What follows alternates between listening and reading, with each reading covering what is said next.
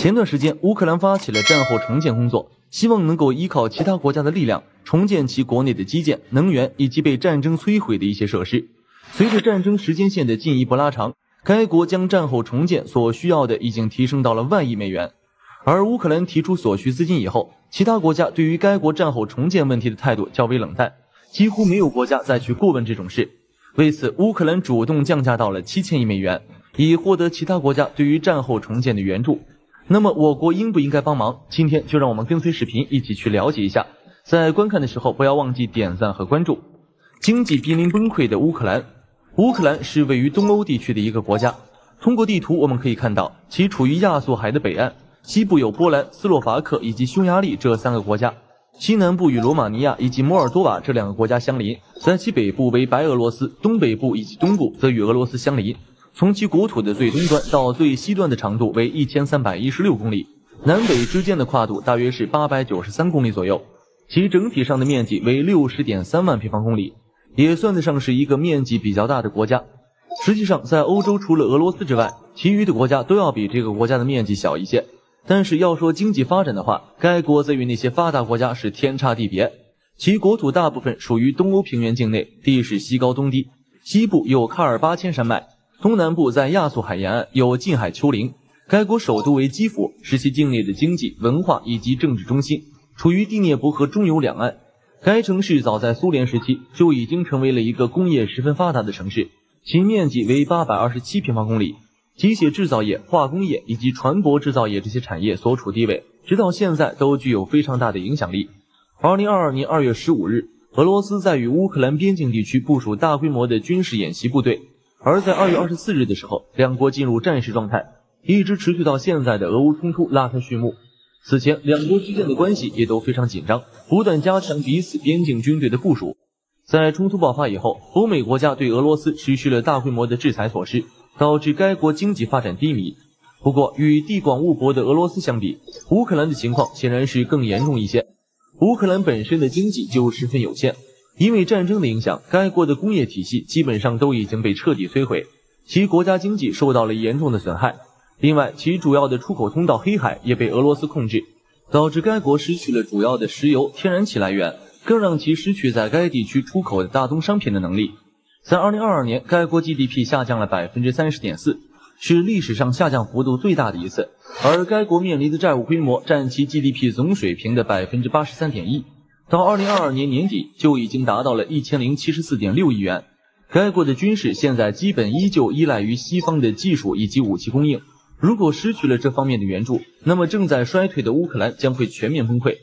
除了面临现在的经济问题之外，该国未来的建设也是一个不得不去面对的问题。鉴于其工业体系已经全部被摧毁，许多城市损坏严重，大量的基础设施需要恢复与建设，但是其缺乏足够的经济实力。因此，该国想要进行战后重建，必然需要其他国家的支持。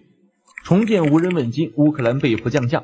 经过一年半的战乱，该国已经是千疮百孔，其境内的桥梁、道路、建筑物、电力设施以及管道设施被大面积摧毁，超过一万五千三百栋高层住宅以及十一万五千九百栋私人住宅被摧毁。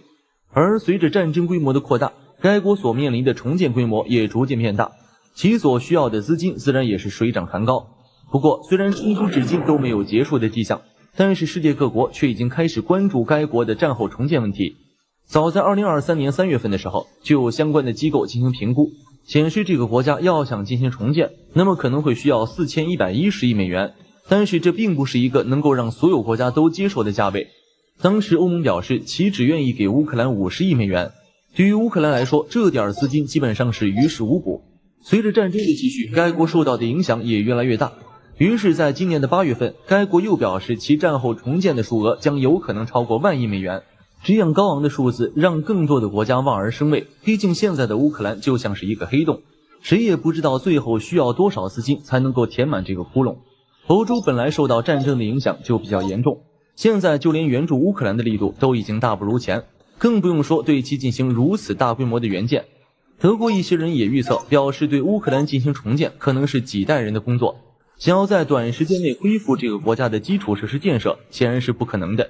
何况这个国家境内很多人流离失所，本身就人口流失的乌克兰面临着更为严重的危机。人口锐减对该国也将造成深远的影响，其经济发展速度在未来很长时间里都难以恢复。而对于这些西方国家来说，乌克兰真正能否重建，或许也并不是那么重要。一些国家可能就是给乌克兰画大饼，希望能够以这个国家拖垮俄罗斯。乌克兰开出的重建标价并没有被大多数国家所接受。虽然万亿资金援助这个呼吁已经过去了一个多月，但是各个国家对于乌克兰并没有什么回应，也没有主动去承担该国重建义务的国家。乌克兰此前的真正目的是希望其他国家能够将冻结的俄罗斯资产拿出来援助自己，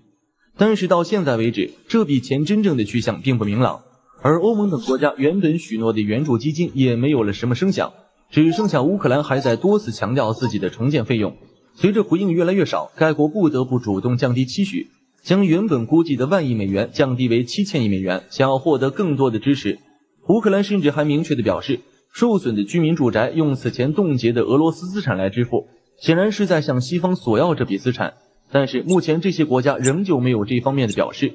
乌克兰有没有可能获得足够的战后援助？援助乌克兰重新进行建设这种事，牵涉了很多方面，甚至还有国家利益之间的较量。即使是有一些国家想要对其援助，也很难保证这笔钱会真正被用于重建乌克兰基础设施以及百姓房屋之上，这是值得怀疑的。毕竟该国境内官员本身就并不清廉，即使是在战争时期，都有人挪用物资大发国难财，借助欧盟、美国等国家以及组织的援助攫取私人利益，严重损害了其国家利益。就连一些美国人都觉得，管理乌克兰这个国家的很多人都是糟糕透顶。如果这个国家无法解决其国内的这些问题，那么即使是一些国家想要真正的对其进行援助，恐怕也要考虑一下。